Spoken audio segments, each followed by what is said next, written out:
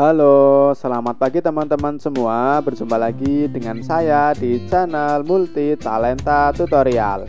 Pada video kali ini, saya akan memberikan tutorial untuk Anda mengenai aplikasi Microsoft Excel, yaitu tentang rumus if dikombinasikan dengan fungsi VLOOKUP.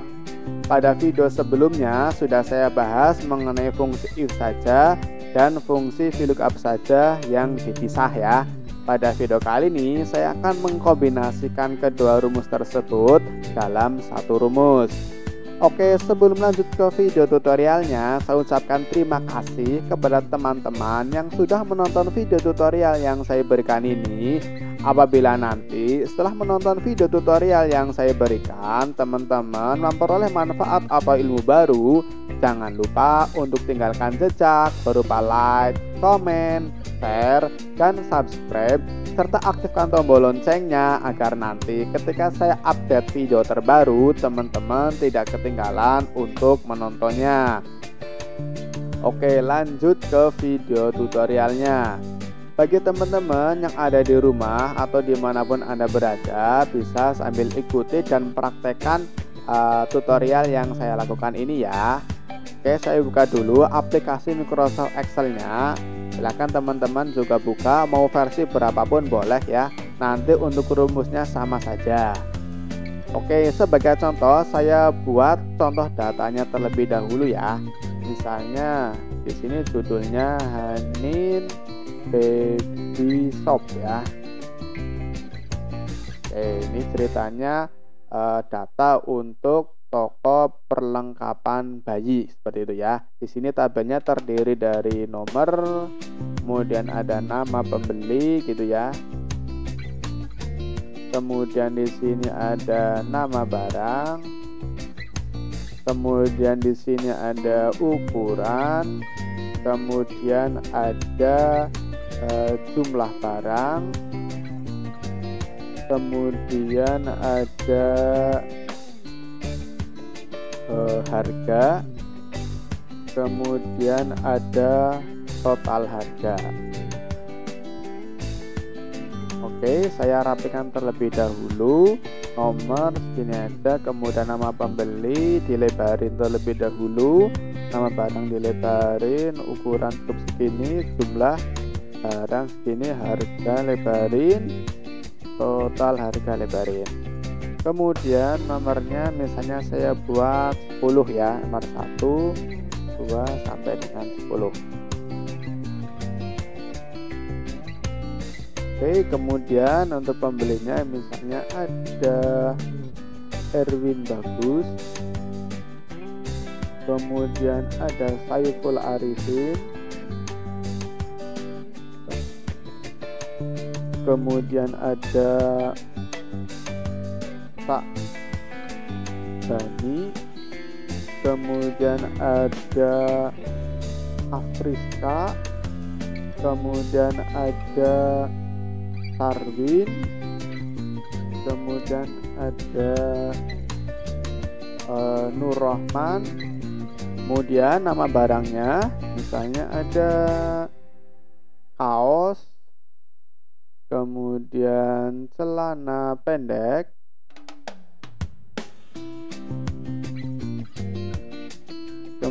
kemudian ada jaket celana panjang ya.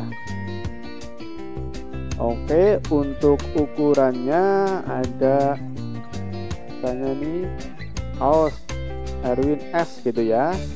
Kemudian celananya M kemudian ini ada L ada S XL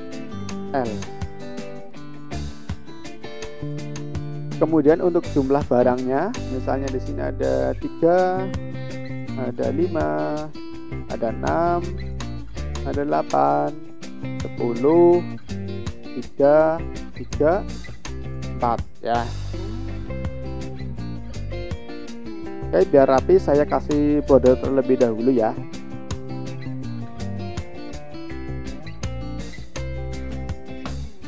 Seperti ini.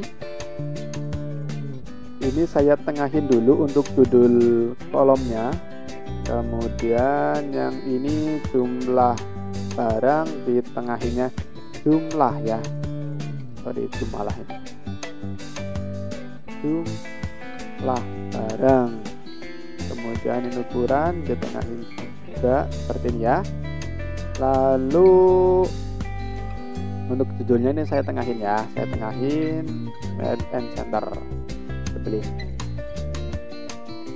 Kemudian uh, akan disuruh ngisi kolom harga ya dan total harga.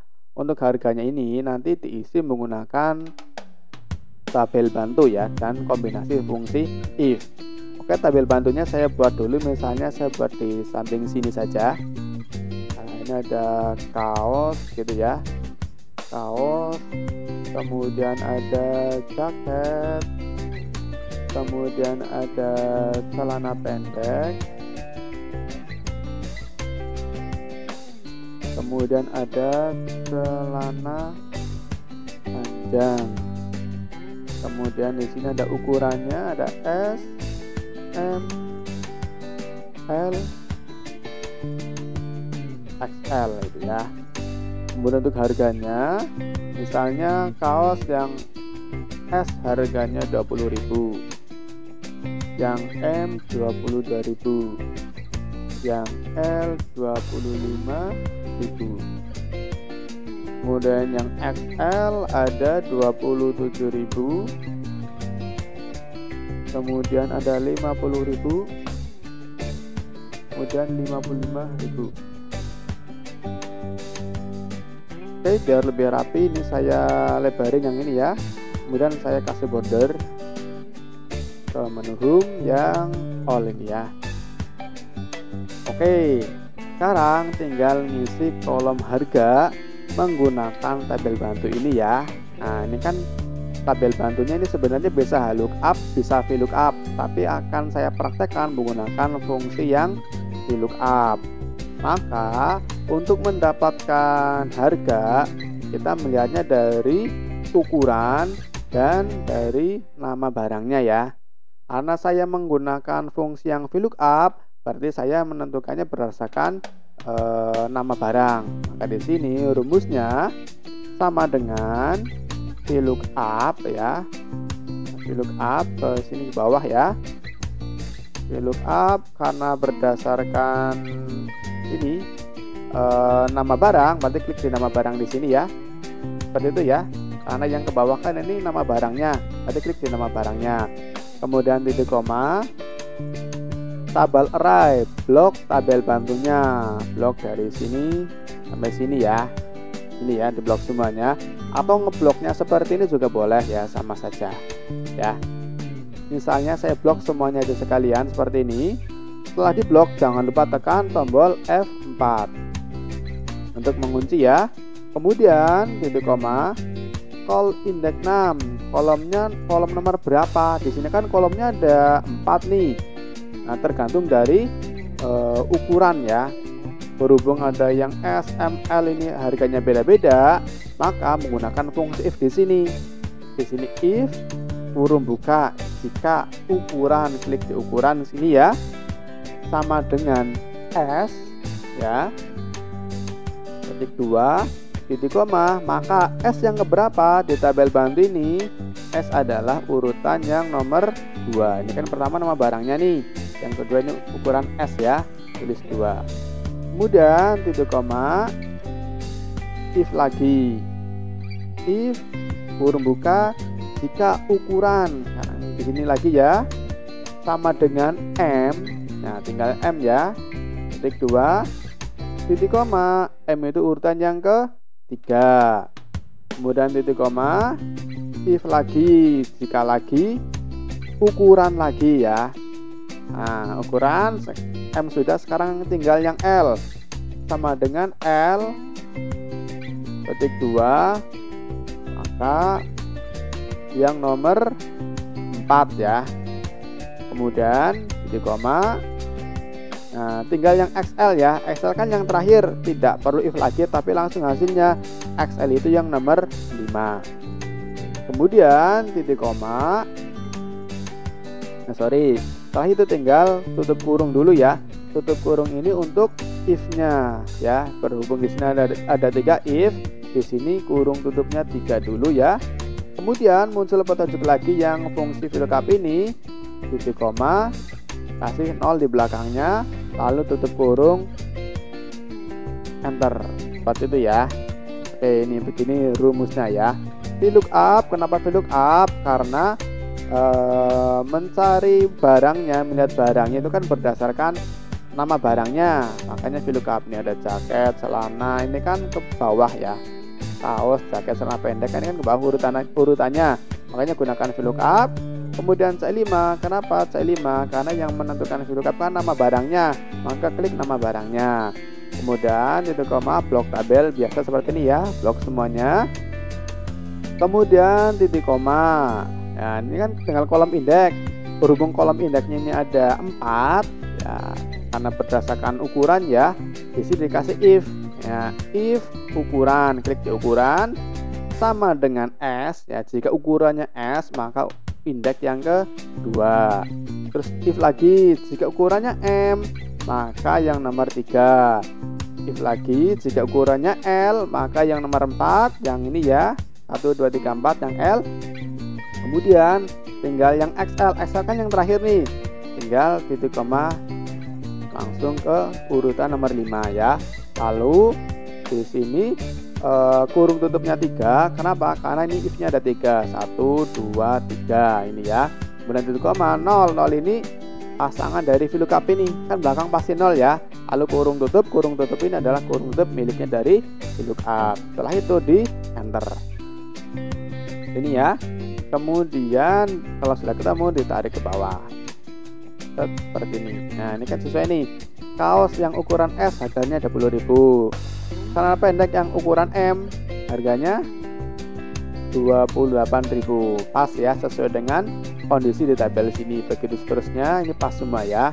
Sekarang total harga. Total harga itu diperoleh dari jumlah jual dikali dengan eh, jumlah barang dikali dengan harga. Maka di sini klik jumlah barang dikali bintang ya dengan harga. Kalau sudah di enter tinggal tarik ke bawah ya. Seperti itu ya. Oke silahkan teman-teman praktekkan rumus kombinasi if dengan VLOOKUP ini. Semoga bisa bermanfaat untuk teman-teman. Jika ada yang kurang jelas dengan tutorial yang saya berikan silahkan teman-teman langsung tanyakan aja di kolom komentar ya. Atau misalnya teman-teman punya ide untuk tutorial silahkan teman-teman juga cek di kolom komentar nanti saya akan buatkan untuk tutorialnya. Demikian semoga bisa bermanfaat. Sampai jumpa di video tutorial yang selanjutnya. Terima kasih